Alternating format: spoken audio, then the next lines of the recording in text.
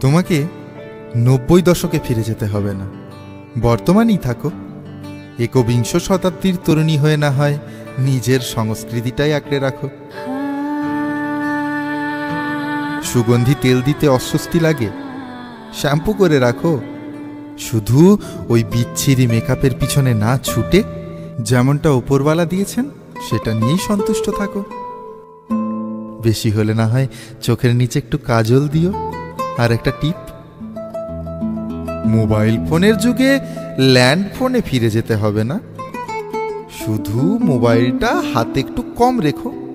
সেলফিটা কম তুলে আয়নার সামনে না হয় কয়েক মিনিট বেশি থেকো। বিশেষ দিনের শাড়ি এখনও পরো। সেই দিনগুলো না হয় একটু বাড়িয়ে নাও।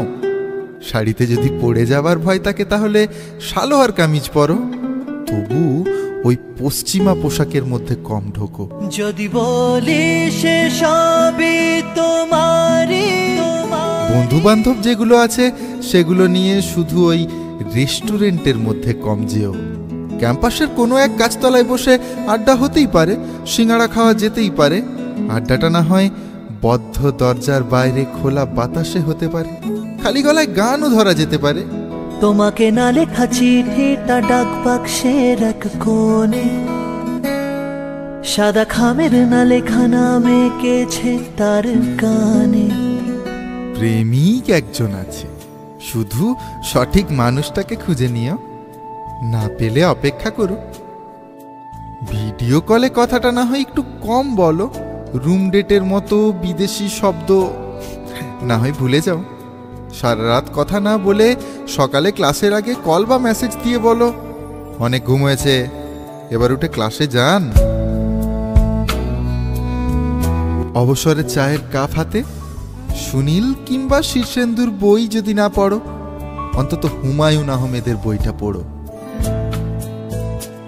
মন চাইলে একটা কবিতাও লিখতে পারো কারোর জন্য, অথবা ইউটিউব দেখে রান্নাটাও শিখতে পারো কারোর জন্য। বিশ্বাস করো, বিকেলে সাদা নীল আকাশটা এখনও দেখা যায়।